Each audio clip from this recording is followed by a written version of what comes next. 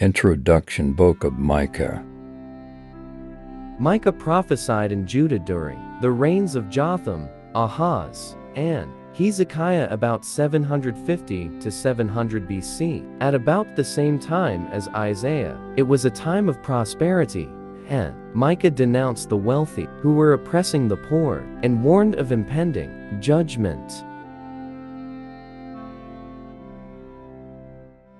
The northern kingdom actually fell during Micah's ministry in 722, and Judah almost fell in 701. 2 Kings chapter 18 to 20. The book contains three sections, which alternate between words of warning and messages of hope.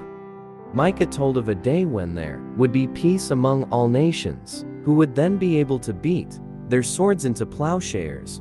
Chapter 4 verse 3, and of a royal deliverer who would save Israel from all her enemies. This deliverer would be born in Bethlehem, chapter 5 verse 2.